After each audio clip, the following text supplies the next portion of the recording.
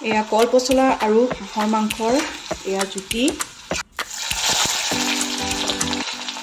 Everyone welcome back to Pallavi's life আজি বহুদিনৰ পিছত আপোনালোকৰ বাবে মই লৈ আহিছোঁ এটা ঠাণ্ডা দিনৰ বিশেষ সুন্দৰ এটা ৰেচিপি আৰু এই ৰেচিপিটো হৈছে হাঁহৰ মাংসৰ সৈতে কল পচলাৰ জুতি। আৰু এতিয়া যিহেতু মই আছোঁ দুলীয়াজানত আৰু সেইকাৰণে ভাবিছোঁ খুব সুন্দৰ সুন্দৰ ৰেচিপিবিলাক আপোনালোকৰ লগত শ্বেয়াৰ কৰিম। আৰু আজি মই বনাবলৈ লৈছোঁ এই ৰেচিপিটো বিশেষকৈ এই ৰেচিপিটো আচলতে ঠাণ্ডা দিনত জুতিটো ল'বলৈ বহুত বেছি ভাল লাগে। আৰু খুব কম বস্তুৰে মই একদম চিম্পলকৈ বনাম। আৰু ভাবিলোঁ আপোনালোকৰ লগত এই ৰেচিপিটো শ্বেয়াৰ কৰোঁ। তেতিয়াহ'লে আহকচোন এই ৰেচিপিটো মই কেনেধৰণে বনালোঁ আৰু কি কি বস্তু লৈছোঁ আপোনালোকৰ লগত এবাৰ দেখাই লওঁ। ৰেচিপিটো বনাবলৈ মই প্ৰথমে ইয়াতে লৈছোঁ এয়া হাঁহৰ মাংসখিনি। নেক্সট লৈছোঁ এয়া কল পচলা। নেক্সট লৈছোঁ ইয়াতে মই দুটা পিঁয়াজ আৰু পিঁয়াজকেইটা মই ৰাফলি চপ কৰিছোঁ মিহিকৈ কটা নাই। আৰু লগতে লৈছোঁ আদা নহৰু। ইয়াতে মই দুই চামুচৰ জোখত লৈছিলোঁ। কিন্তু ইয়াতে মই খুন্দি লৈছোঁ। এইখিনি মই পেষ্ট বনোৱা নাই। আচলতে খুন্দি ল'লে বেছি ভাল লাগে টেষ্টবিলাক। আৰু এতিয়া আহকচোন এই ৰেচিপিটো বনাবলৈ ষ্টাৰ্ট কৰোঁ। এতিয়া মই এই ৰেচিপিটো বনাবলৈ ষ্টাৰ্ট কৰিছোঁ। ইয়াতে মই লৈছোঁ এখন লোহাৰৰ কেৰাহী আৰু ইয়াতে মই তেল দি দিলোঁ। তেলখিনি ভালদৰে গৰম হোৱাৰ পিছত এতিয়া মই ইয়াতে দিম তেজপাত তিনিখিলা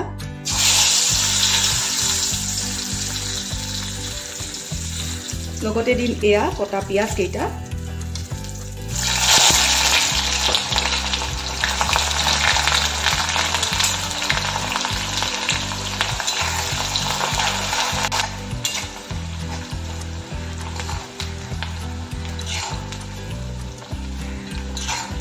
এতিয়া পিঁয়াজখিনি ভালদৰে ভজা হৈ গৈছে।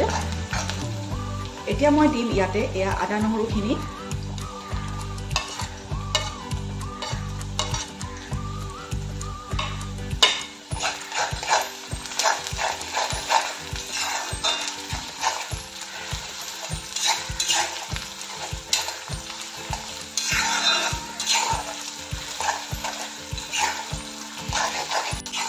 এতিয়া পিঁয়াজ আৰু আদা নহৰুখিনি ভালদৰে ভজা হৈ গ'ল।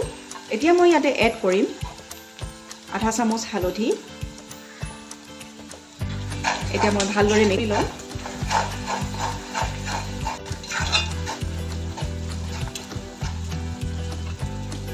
এতিয়া মই ইয়াতে এড কৰিম এয়া হাঁহৰ মাংসখিনি।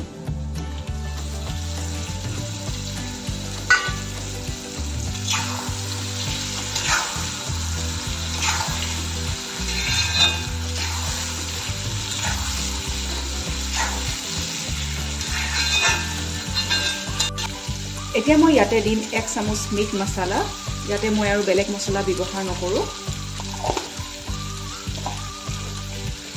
সোৱাদ অনুসৰি নিমখ। এতিয়া গোটেইখিনি বস্তু মই ভালদৰে মিক্স কৰি থাকিম।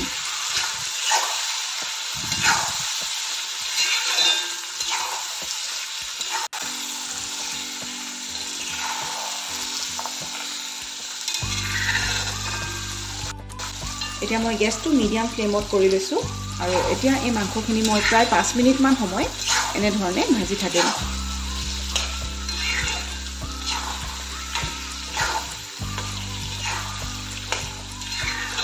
এতিয়া পাঁচ মিনিটমান ভাজি উঠাৰ পাছত এয়া হাঁহৰ মাংসখিনিৰ পৰা ধুনীয়াকৈ তেল ওলাবলৈ আৰম্ভ হৈ গ'ল। এতিয়া মই গেছৰ ফ্লেমটো একদম ল' কৰি দিম আৰু প্ৰায় বিছ মিনিটমান সময় ঢাকন মাৰি মাংসখিনি সিজিবলৈ দিম। এতিয়া বিছ মিনিটমানৰ পাছত মই মাংসখিনি চেক কৰিবলৈ লৈছোঁ। এতিয়া মাংসখিনি আধা সিজা হৈ গ'ল। এতিয়া মই ইয়াতে এড কৰিম।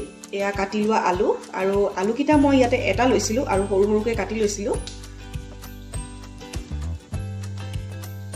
এতিয়া আলু কেইপিচ মই ভালদৰে ইয়াতে এড কৰি দিছোঁ।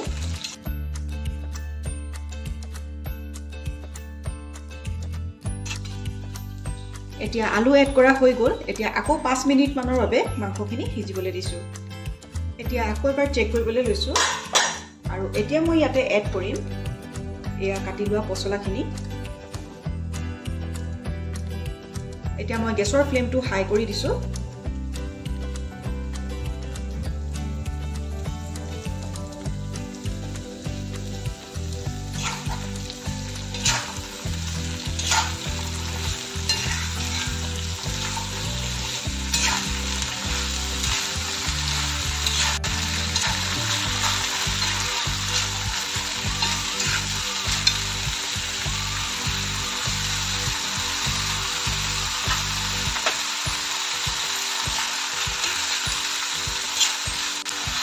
এতিয়া পচলাৰ সৈতে এই মাংসখিনি মই ভালদৰে মিহলাই ল'ম